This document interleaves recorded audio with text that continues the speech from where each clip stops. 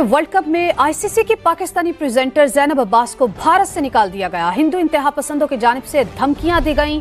आठ साल पुराने ट्वीट पर मुकदमा भी दर्ज कर लिया गया। जैनब अब्बास आलमी कप की कवरेज छोड़कर दुबई रवाना हो गई। मजीद जान लेते हैं। उस टाइम ये गवर्नमेंट क्या इंडिया की सो रही थी?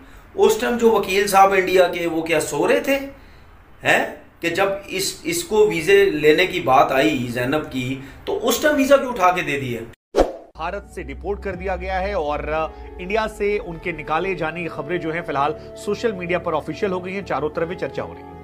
अब आपके जहन में सवाल आना चाहिए कि जैनब अब्बास कौन है और इंडिया ने आखिर उन्हें क्यों निकाला? क्या वजह इसके पीछे थी कि उन्हें देश से निकाला एक आज न्यूज़ भी काफ़ी खबरों में रही है कि जैनब अब्बास के हवाले से कि वहाँ पर इंडिया में किस तरह उनके साथ बिहेव किया गया। और उनको फौरी तौर पर इंडिया छोड़ के दुबई जाना पड़ा। इजहार इस... एक जमाने में बाबर आज़म ने उन्हें ट्वीट पर जिसमें बाबर आज़म के खिलाफ उन्होंने कुछ अपशब्दों का इस्तेमाल किया था बाबर ने भी ट्वीट करके कहा था कि मैडम आप हद में रहा कीजिए। कि बड़ा ही अनफॉर्चुनेट इंसिडेंट है। लेकिन आई एम नॉट श्योर कि जो ये दुबई गई हैं और सारा इवेंट की जो कवरेज कर रही थी उसको छोड़ना पड़ा वो उनका पर्सनल डिसीज़न है या उन्हें फोर्स किया गया है या उसके पीछे मजीद हमें तो नहीं आइडिया कि क्या बिल्कुल इस साल ऐसे अपडेट्स भी नहीं है। तो ये नमस्कार दोस्तों स्वागत है आप लोग का हिंदुस्तान स्पेशल के एक और नए वीडियो में। दोस्तों पाकिस्तान के स्पोर्ट्स एंकर जैनब अब्बास को वर्ल्ड कप के बीच भारत छोड़ना पड़ा है। रिपोर्ट्स के अनुसार जैनब ने हिंदुओं और भारत के खिलाफ नौ साल पहले दो ट्वीट किए। इन्हीं ट्वीटों ट्वीटों के कारण अब कंट्रोवर्सी खड़ी हुई है। कुछ रिपोर्ट्स का मानना है कि उन्हें देश से निकाला गया है। वही कुछ आ, में वही कुछ में कहा जा रहा है कि सिक्योरिटी कारणों से जैनब खुद ही भारत छोड़कर चली गई हैं। जैनब इंटरनेशनल क्रिकेट काउंसिल यानी कि आईसीसी की ओर से भारत में वनडे वर्ल्ड कप कवर करने आई थी। वो मंगलवार को होने वाले पाकिस्तान श्रीलंका मैच में एंकरिंग करने वाली थी। वकील की कंप्लेन के बाद सामने आया मुद्दा। रिपोर्ट के अनुसार भारत में वकील विनीत जिंदल ने जैनब के एंटी इंडिया ट्वीट को लेकर कंप्लेन फ़ाइल की थी। उन्होंने इल्ज़ाम लगाया था कि जैनब ने सोशल मीडिया पर हिंदू और भारत का अपमान किया था। जिंदल ने जैनब के नौ साल पुराने दो ट्वीट स्क्रीनशॉट लेकर कंप्लेन फ़ाइल की। ये ट्वीट के नाम से किए गए थे, जिसका नाम अब जैनब ऑफिशियल कर दिया गया है। ये जैनब अब्बास का ऑफिशियल सोशल मीडिया हैंडल है। जैनब वकील जिंदल ने अपने कंप्लेन में सोशल मीडिया पर पोस्ट करते हुए लिखा, बीसीसीआई और होम मिनिस्ट्री को लेटर लिखकर मैं पाकिस्तानी एंकर जैनब अब्बास को देश से निकालने की मांग करता हूँ। अतिथि देवो भवा उन लोगों के लिए है जो देश और हिंदू धर्म का सम्मान करते हैं। देश के खिलाफ बोलने वालों का हमारी धरती पे कोई स्वागत नहीं होना चाहिए। तो चलिए वीडियो में चलते हैं देखते हैं कि जैनब अब्बास को इंडिया से बाहर निकाले जाने के बाद पाकिस्तानी मीडिया का क्या रिएक्शन है? क्योंकि जो स्पोर्ट्स ऐसी चीज़ है which is something beyond politics और स्पोर्ट्स का पार्ट सिर्फ़ खिलाड़ी नहीं होते बाकी भी जो सारा कोचेस uh, होते हैं या बैकरूम स्टाफ होता है या आपके मीडिया मैन होते हैं या जर्नलिस्ट होते हैं there there all part of this game और इंटरटेनमेंट एक इंडस्ट्री है देर ऑल पार्ट ऑफ़ या ब्रॉडकास्टर्स हैं.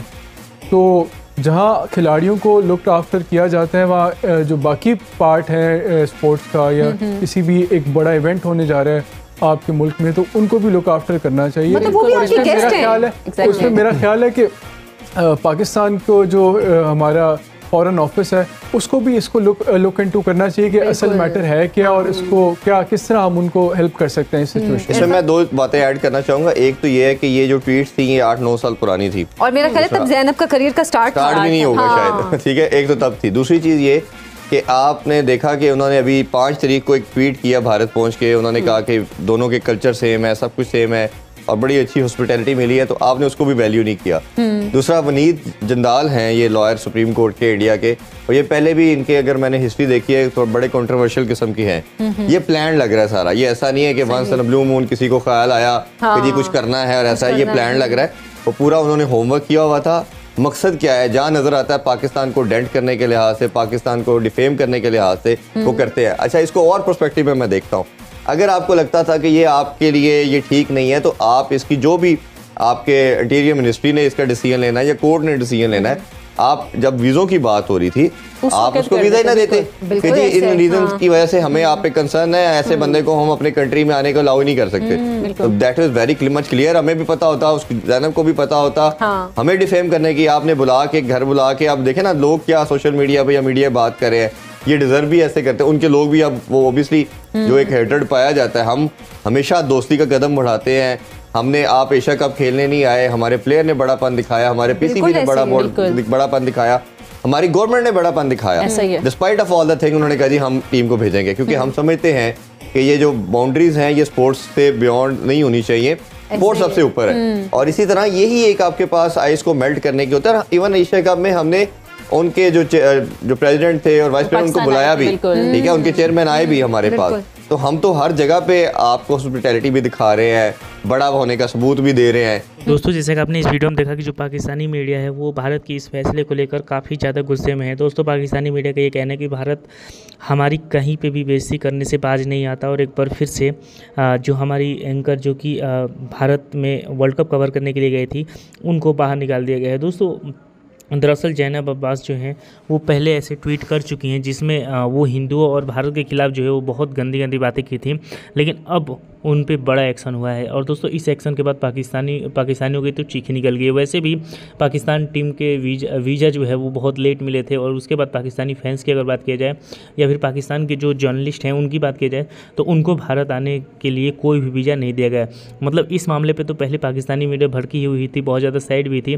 लेकिन अब जो एक एंकर आईसीसी के साथ मतलब आई हुई थी, उसको भी भारत से भारत से बाहर निकाल दिया गया है। दोस्तों इस कंट्रोवर्सी के बाद पूरे पाकिस्तान में इसके ऊपर बात हो रही है पाकिस्तानी मीडिया का ये कहना है कि भारत हमारी हमेशा क्यों जो है वो हमेशा हमारी क्यों बेइज्जती करता है? भारत को ऐसा नहीं करना चाहिए। यानी कि ये सब बातें जो है वो पाकिस्तान में चल रही हैं। लेकिन भारत ने कहीं ना कहीं एक अच्छा कदम लिया है क्योंकि अगर आप हमारे देश में आएँगे और जब अपने देश में जाएँगे तो उसी देश के खिलाफ और उसी देश के लोगों के खिलाफ आप उनके धर्म के खिलाफ बोलेंगे तो फिर अ, कोई जगह जो है वो भारत में नहीं मिलेगी। तो दोस्तों, बस आज की वीडियो में इतना ही। आई थिंक आप लोग को वीडियो पसंद आएगा वीडियो अच्छा लगे तो वीडियो को लाइक हमारे चैनल हिंदुस्तान स्पेशल को सब्सक्राइब कर लें, क्योंकि आपके लिए इंटरेस्टिंग वीडियो लाते रहते हैं। मिलेंगे न्यू वीडियो तब देखते रहे हिंदुस्तान स्पेशल